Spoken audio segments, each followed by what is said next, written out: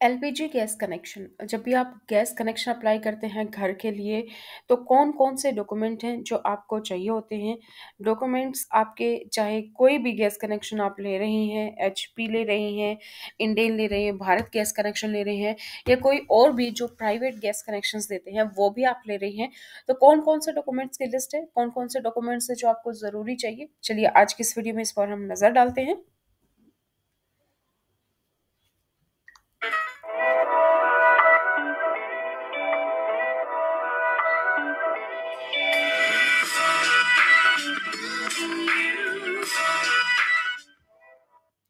नमस्कार दोस्तों, स्वागत है आपका, आपके अपने चैनल एजुकेशनल सरकारी डॉक्यूमेंट्स पर, जहाँ पर हम बात करते हैं स्कूल कॉलेज एडमिशन से लेकर जॉब तक की, साथ ही सरकारी डॉक्यूमेंट्स के साथ सरकारी स्कीम्स और सरकारी बिज़नेस आइडियाज़ के बारे में भी। आज की इस वीडियो में हम बात कर रहे हैं कि अगर आप गैस कनेक्शन ले रही हैं, चाहे इंडियन एच भारत गैस या कोई भी प्राइवेट एजेंसी से तो कौन कौन से डॉक्यूमेंट्स है जिसकी आपको ज़रूरत होती है। तो गैस कनेक्शन के लिए कौन कौन से पहले तो ये देख लेते हैं कि आग, आप जब गैस कनेक्शन के लिए अप्लाई कर रहे हैं तो क्या कंडीशंस है? तो सबसे पहले तो आप 18 साल से अधिक होने चाहिए तो ही आप आवश्यक दस्तावेज़ जमा करा कर गैस कनेक्शन ले सकते हैं। साथ ही अगर आप नया गैस कनेक्शन अप्लाई कर रहे हैं तो उससे पहले आपके पास कोई और गैस कनेक्शन नहीं होना चाहिए। अगर आपके पास कोई और गैस कनेक्शन है और आप दूसरी कंपनी का या दूसरा गैस कनेक्शन ले रहे हैं तो पहले वाले कनेक्शन को बंद करवा दीजिए।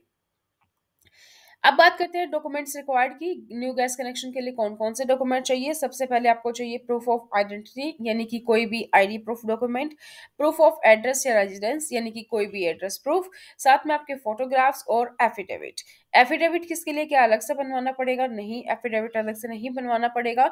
एक फॉर्म होता है, बस उसी में आपको अपनी कंसेंट देनी होती है कि आपके पास पहले कोई गैस कनेक्शन नहीं है।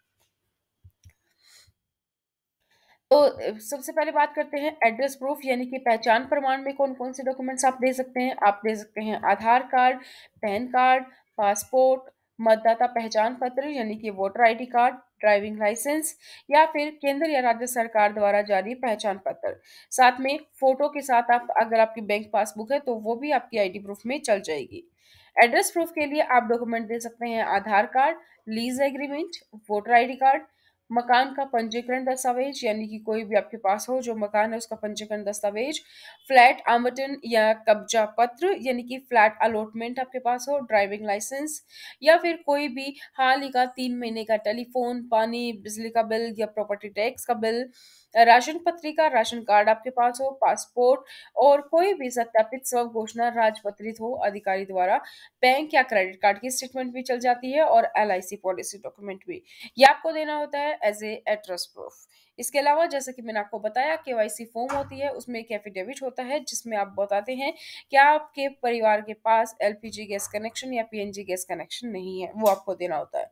तो बस बेसिकली दो ही डॉक्यूमेंट आईडी प्रूफ और एड्रेस प्रूफ और आप देकर इसको अप्लाई करके आप गैस कनेक्शन के लिए ऑनलाइन और ऑफलाइन दोनों ही तरीके से अप्लाई कर सकते हैं। अगर आप जानना चाहते हैं कैसे अप्लाई करना है तो चैनल पर वीडियो है, वो वीडियो भी आप जाकर देख सकते हैं। तो आज की इस वीडियो में इतना ही। इस तरीके की और जानकारी पाने के लिए चैनल को सब्सक्राइब करें, वीडियो को लाइक और शेयर करना ना भूलें। साथ ही अगर आप लोग इस चैनल पर नए हैं तो जब आप सब्सक्राइब करेंगे तो बेल आइकन को प्रेस कर लीजिए, ताकि जैसे वीडियो अपलोड होती है, उसकी नोटिफिकेशन आप लोग को मिल जाए। आप मुझे सोशल मीडिया पर भी फॉलो कर सकते हैं, लिंक डिस्क्रिप्शन बॉक्स में है।